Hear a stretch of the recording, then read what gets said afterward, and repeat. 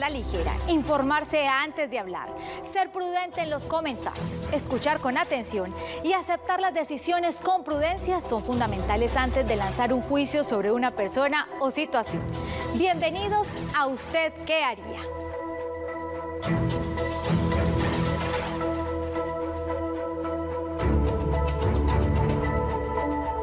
Tala de árboles por parte de empresas privadas o ciudadanos que consideran que esto les generan riesgos o molestias en su propiedad ha generado varias noticias en la ciudad. Veamos la siguiente nota.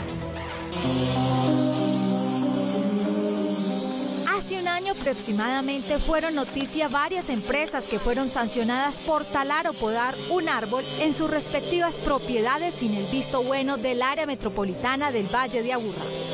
Una se desprende de la resolución metropolitana en la que la autoridad ambiental inició un procedimiento sancionatorio ambiental y formuló pliego de cargos contra una firma constructora por haber podado una acacia amarilla para dar paso a un hotel. Otra de las más conocidas se dio en febrero del año 2011, cuando el área metropolitana le impuso una multa de 445 millones de pesos a una empresa por la tala sin autorización de 130 árboles en el sector del Diamante 2 tal y como denunciaron los vecinos. En el procedimiento fueron talados guayabos, eucaliptos, cipreses y falsos laureles, en los que había árboles de hasta 100 años. ¿Está usted de acuerdo con que una persona tale un árbol que él mismo sembró y que está generando ciertas molestias, incluso que representa un peligro para él y sus vecinos?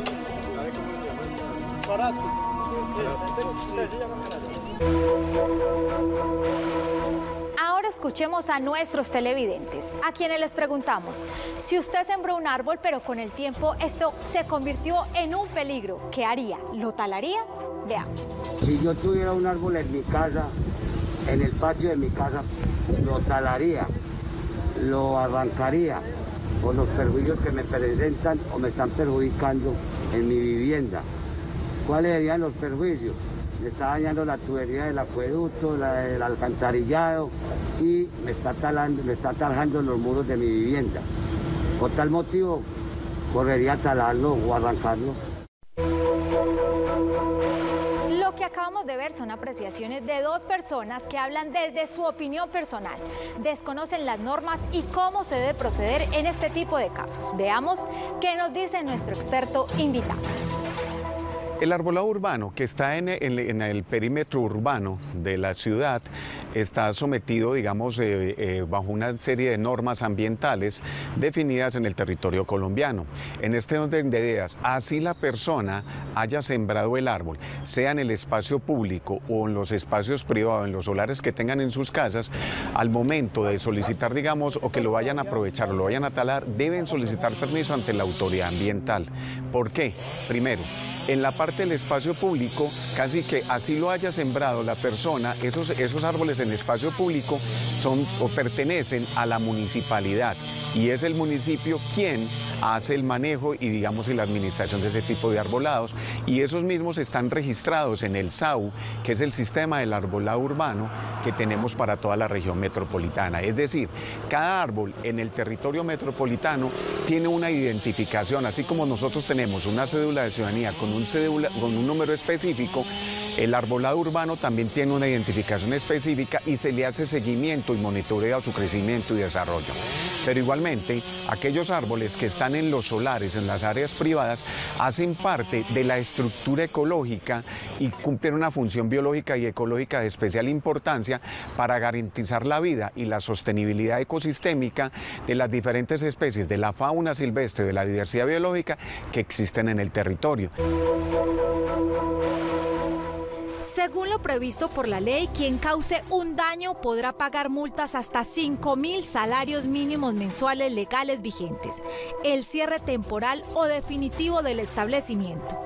La revocatoria o caducidad de la licencia ambiental, demolición de la obra y trabajo comunitario, entre otros.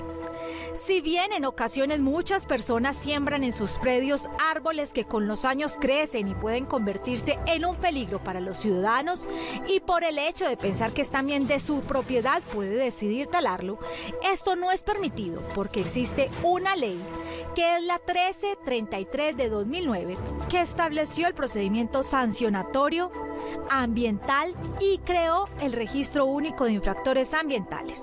Recuerden que por un lado está la opinión que tengamos desde nuestro sentido y lo que pensamos que está bien o mal.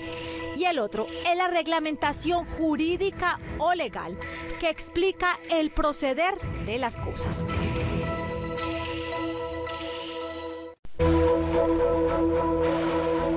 Recuerde no juzgar a la ligera, informarse antes de hablar para poder entender las decisiones que toman los profesionales ante ciertas noticias que generan controversia en la opinión pública. Hasta pronto.